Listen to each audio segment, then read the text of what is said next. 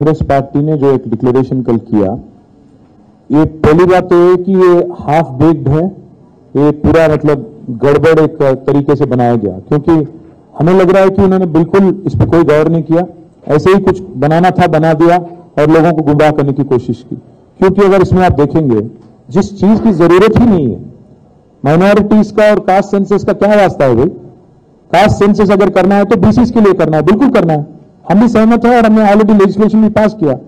पर ये जो आज लोग राजनीति अपना रहे हैं कास्ट सेंसस को जोड़ते हुए माइनॉरिटीज वेलफेयर की बात कर रहे हैं, क्या होगा इसका नतीजा?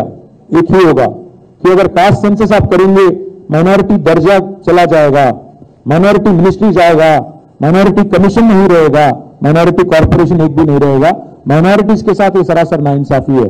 साथ ही साथ एक और बात माइनॉरिटीज और बीसीस के बीच में एक झगड़ा हो जाएगा। कांग्रेस कांग्रेस की, क्या बोलते हैं इसको हाफ़ बेक्ड हाफ़ कुक्ड जो डिक्लेरेशन है, ये बनाया गया शायद बीजेपी के ऑफ़िस में। क्योंकि बीजेपी भी वही बोल रही है, पासमंदा मुसलमान।